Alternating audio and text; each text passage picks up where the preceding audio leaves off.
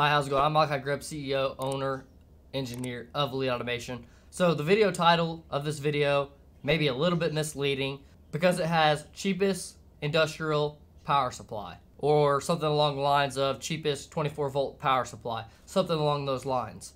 Uh, and the reason why I made this video is because I feel like there's going to be a lot of people who want to get their hands on automation equipment, PLCs, different uh, low voltage componentry, and they're going to want to be able to do testing and whatnot, yet they may have a very tight budget. They may be a college student or whatnot. So I wanted to show you guys a couple power supplies that are something you may have just laying around your house and you don't even have to buy anything extra.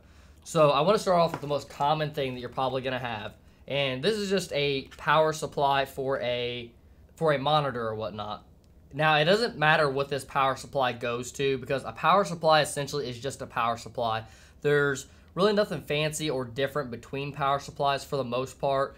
Um, there are some different technologies out there for power supplies, and there are some power supplies that can damage devices, but generally you don't see that on DC voltage side of things. If anything, you see that when you're trying to convert a DC to a AC voltage and, and, and trying to plug things up to that, that square sine wave or whatever that, that synthetically created sine wave. So whenever you're picking these up, there's a few things that you need to be worried about, um, and that is the voltage output of this device, and then also its current capability. Generally, anything that's gonna be like a PLC and whatnot is not gonna take too much power, so you you generally don't have to worry about that unless you're gonna try to power a bunch of different devices. But you do need to check and you need to look because for some odd reason this thing may be good for a half an amp at at, at 12 volts or at 24 volts. Just a disclaimer: a lot of these are gonna come in around the 19 volt range. Um, but but you need to look at it and just see what you got. Some of them are 12 volts, some of them can be higher, but you just need to look and see what you got. So for this particular power supply, it's 19 volts and it's 2.1 amps. And it says it right here. I don't know if you can see it. So it says the amp rating and the voltage rating for the incoming power at the 120 volt side of things.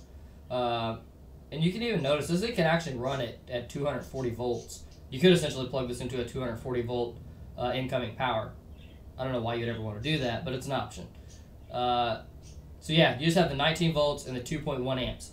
So the next thing you need to look at is the rating of whatever device that you want to plug into. Uh, some of these have some devices have a wide range of like 12 volts to 48 volts that you can supply them with. Uh, some of them will be like 24 volts plus or minus five percent. Uh, so you just have to kind of look at that, and I'll try to show you all a couple examples of some things that we have laying around. All right, so here's an Allen Bradley PLC with the power supply next to it.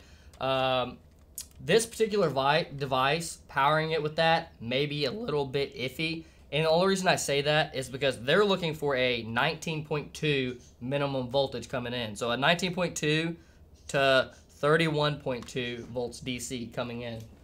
And I'm not sure if you can see it, but it says it right here, 19.2 to 31.2. Uh, like I said, some of these will have a plus or minus. Like it'll, it'll say like a certain voltage, like 24 volts right here, and then it'll say plus or minus 5%. And so you just have to do 5% of whatever 24 volts is. You know, some, some devices could even be 10%. But those are just some things to keep in mind. I'm personally not too concerned with using these type of power supplies. Now, if I'm going to do anything strenuous with this thing, like try to plug up I.O. and stuff to it, and do a ton of different stuff other than just like create some logic or or put some IP addresses in it. You may want to make sure that you have something that's a little bit more robust and that can handle more. Uh, so like using something that has like a 24 volt output or a even a 20 volt output, just something that's in that range. As long as it's in that range, I wouldn't be concerned at all. They're saying basically, hey, it can operate at this range. And with that being said, uh, you know, I don't think you really need to worry.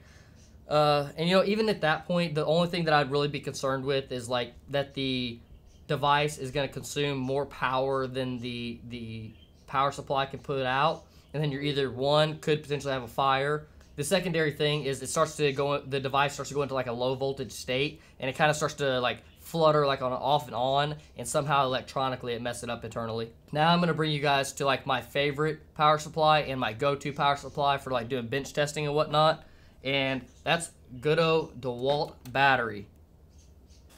So I'm constantly using DeWalt batteries to do uh, bench testing and whatnot. I bring this one up because I feel like a lot of people have drills just laying around your house. So if you have a drill laying around your house um, and it's like a 24 and it's like a 20 volt drill, um, you should be good to go with utilizing one of this on one of these on any piece of automated equipment. They, they're going to be able to handle high current loads because they're used to operate drills and whatnot. So you could even have this thing supplying power to a, a little miniature motor or something. I mean, you're even doing cra- you're even doing stuff with these now where they're running lawn- lawnmowers off of them. So these have the the capability. You're not going to have to worry about this thing catching on fire unless you're trying to run. I mean, I've ran entire main enclosures off of these uh, because maybe we have the the high voltage side killed or not even landed yet uh, for safety purposes, and we're running the whole entire cabinet off of one of these power supplies. That way we can still close the doors and whatnot, and we don't have any like cables running out the front of the door to plug to plug the 24 volt power supply into a um, 120 cable. So that way there's zero voltages above 24 volts, which uh, in, in, a factory sh shop setting is uh, super safe. That's actually one of the things we try to do with our systems anyway. Whenever we design a system, we try to design everything that's not 24 volts in the other side of the cabinet. That way, when you open this side of the cabinet, it's essentially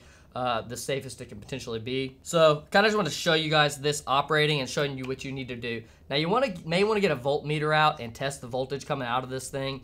Um, test it for the uh, other device as well, and you definitely want to test it for these. Generally, there will be a, a plus and a minus on here. So for example, with DeWalt, they have a B plus and a B minus. These are probably our positives positive and negatives for the main uh, power of this device. So basically, we take our little knife terminals like we have here on our PLC, because this is what we're actually utilizing to fire this up. But we just have some little eyelet type terminals right here. And we're putting them right into that positive and that negative. And then uh, you know, prior to ever using this, we put a voltmeter on it to test it, or that it is our, our, our positive and our negative. Now, I didn't really explain this part on the other device that we have here, but uh, this is the end that you'll have on it, something similar to this. Uh, I mean, you could have anything depending on what you're taking this power supply from. But essentially what you need to do, while this thing's not plugged into the wall, uh, chop the end off of here. And for the most part, you'll generally only have two wires inside of here and you just need to test what's the positive and what's the negative of those two wires, and then also ensure that that it's actually outputting 19 volts. Um, you could get lucky with a device like this, and it may be rated at like 19 volts, but it's outputting uh, like 20 volts.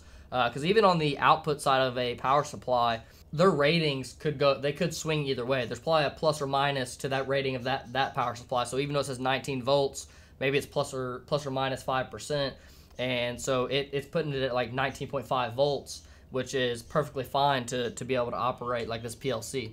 Back to the battery real quick. A couple things that I did want to point out is one, don't let your, your PLC or whatever you have plugged into your battery run your battery completely dead. Uh, especially running it dead and then just leaving it because um, it can run these batteries that we've actually run well we didn't run them with PLC type of hardware we put these things in some power wheels so essentially we just put the hot and the negative of, of a Power Wheels uh, battery and connected them up to these and uh, let my kids run around on the little Power Wheels with these, which 20 volts does a little bit more than the 12 volts. It gets a little bit, uh, has a little bit more get up and go, and uh, it don't quite burn the motors out. I'm sure, I'm sure it's gonna wear them out a little bit quicker, but uh, yeah, it seems to seems to be holding up just fine.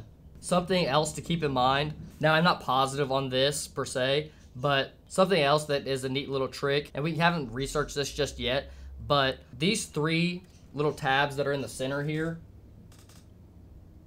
so there's three of them in the center. I think there's either switching on this side or they're switching on the uh, tool side. And what the switching does is it basically drops out power to the uh, to the battery. Now, if the switching is built into the battery, then you can find a way to tap into this. And what the switching is for is whenever it gets into a low voltage state, it just shuts itself off. That way you can't have the inc- incident of running a battery uh, because you let the let too much power get drawn out of it. So the switching will basically remove power from the battery. So it just it's like a hard off versus just running it down until it's at an absolute zero, which is that's what runs the batteries is running them to an absolute zero. But if the switching is built into the tool, I don't think there's nothing you can necessarily do about that besides wire up some little relay system or something along those lines, which could definitely work out for you. So I'm gonna go ahead and throw some power on this just to show you it working. All right, so now we are fully up and running. Uh, PLC is good to go, and we're here we are operating off of a PLC. Um, I actually have a video where I'm wanting to like do some I/O stuff and do it all off the battery and wireless communications. Um, that's coming. We're gonna get to that. I think I think that overall it's completely impractical, but I think it'll be a good a good demo video, something cool and, and kind of like maybe trigger some people's minds to what like the future of automation looks like and and the different technologies and things we might see into the future. Um, hopefully this video is useful for you guys. If you'd like, hit the subscribe button. We're going to be posting other videos that are different tutorial videos showing y'all how to do some like rudimentary beginning level stuff that you may not think about if you're just getting into the space or uh, doing it more advanced stuff like setting up uh, IO hardware and, and, and overall just demonstrating different technologies, showing you guys how to get jobs in the industry. Just overall, we want to immerse ourselves in this channel in the industrial automation space. Uh, you know, that's our that's our big target uh, robotic cells, stuff like that. So, like I said, hopefully you find this video informative, informational, and hopefully you can get your system up and running with a little battery pack or something. Catch you all in the next one.